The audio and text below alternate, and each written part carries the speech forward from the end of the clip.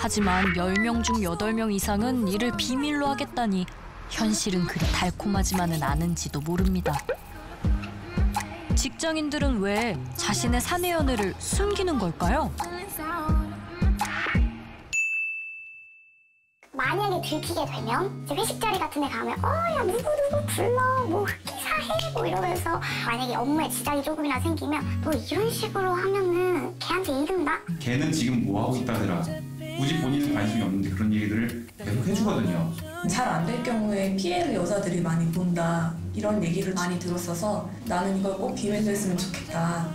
완전 동의 동의 동의 동의예요 그 누구도 모르게 결혼할 때 빼고는 회사 사람들한테 그냥 독신주의자처럼 행동을 해야 돼요. 그냥 아 네 남자 됐습니다. 아, 좀안 사깁니다. 그 사람들 이미지에는 아 얘는 일에 미쳐있다. 친구 관계가 많이 좀 끊겼습니다.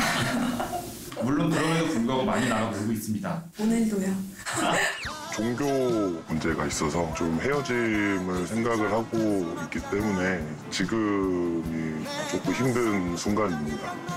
헤어지면 일단 같은 사무실을 사용하고 있기 때문에 잠시만요 지금 걔네 부서에 새롭고 좀 파릇한 애가 왔어요. 저보다 더 파릇한.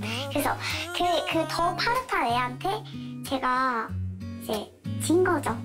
그 새끼가 환승했죠. 그 새끼가 잘 사니? 아직도 음료수 주면서 옥상에서 여자 꼬시니? 그렇게 살지 말렴. 나에게 사내 연애는 지금이다.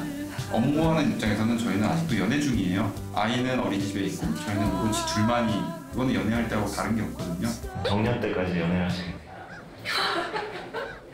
사내 연애는 로또라고 로또로 패가망신하는 사람들도 많잖아요.